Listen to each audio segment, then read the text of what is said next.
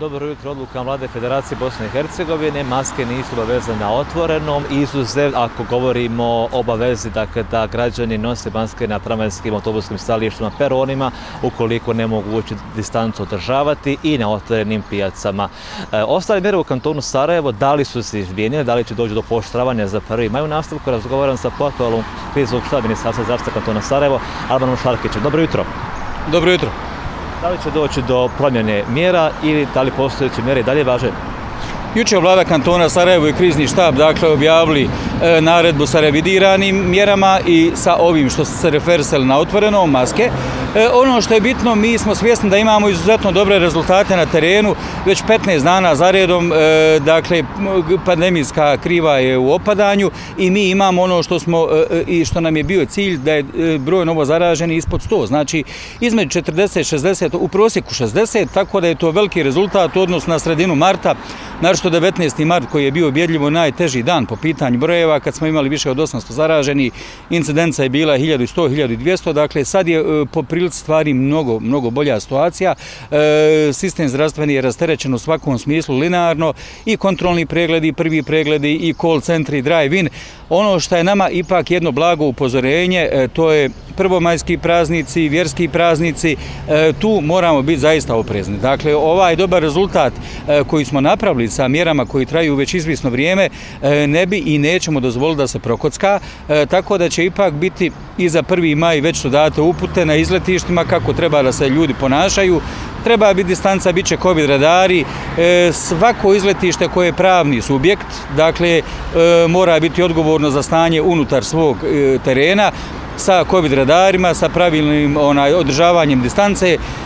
Dakle, zadnje što nam treba je da u neki par dana zbog nekog hedonizma e, koji je sad nažalost iracionalan, jel, je li situacija ovakva kakva jest, e, vratimo neku, neki rast, e, pa da bi ponovo eventualno išli u poštravanje mjera, mislim da niko ne želi taj scenarij, Mislim da su građani vidjeli da su zajedno s nama timski uspjeli da ovladamo ovom situacijom, vidimo benefite, prema tome imali išta bolje od ovih rezultata. Dakle, konkretne benefite vidimo, zbog toga zaista da se strpimo ovaj period, naročito kad krene masovna imunizacija, da ipak amortiziramo stvar kako ne bi zbog prvomajskog praznika i drugih vjerskih ovaj, ušli u neke probleme. Dakle, nema rigoroznih mjera za 1. maj, isključivo je to odgovornost i COVID redara, ali i građana. Vakcinacija u Zetri je okončana, barem za sada.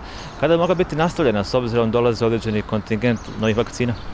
E, Kanton Sarajevo od ukupne količine koja ide prema federaciji e, polaže pravo na 21%, to je tako procentualno.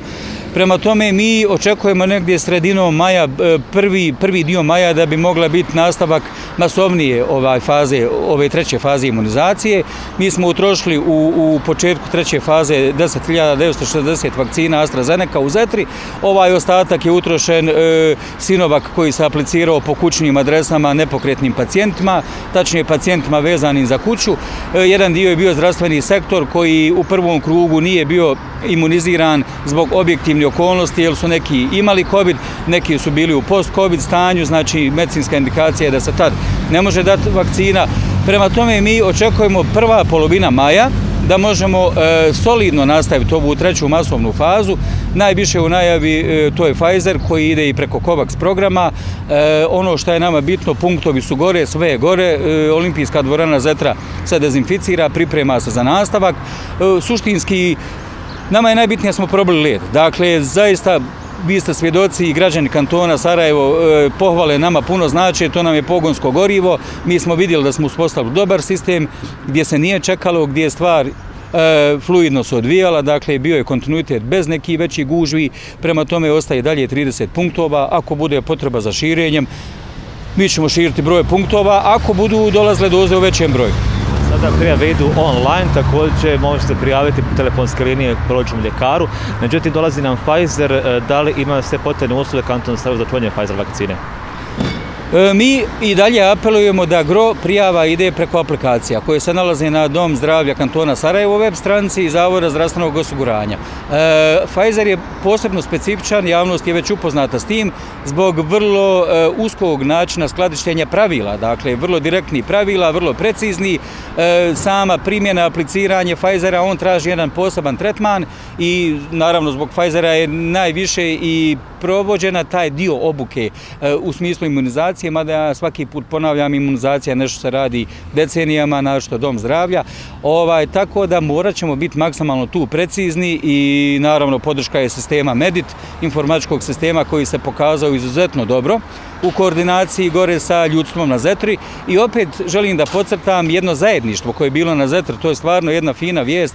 E, mi smo imali mješovite punktove Doma zdravlja kantona Sarajevo, e, kliničkog centra, opće bolnice, Zavoda za javno zdravstvo, e, Zavoda za hitnu medicinsku pomoć, dobrovoljci Crvenog krsta, dakle svi su bili na jednom zadatku i ja mislim da je to jedna lijepa pobjeda, lijepa vijest u moru nekih loših vijesti koji nažalost prate Bosnu i Hercegovinu već dugo vremena.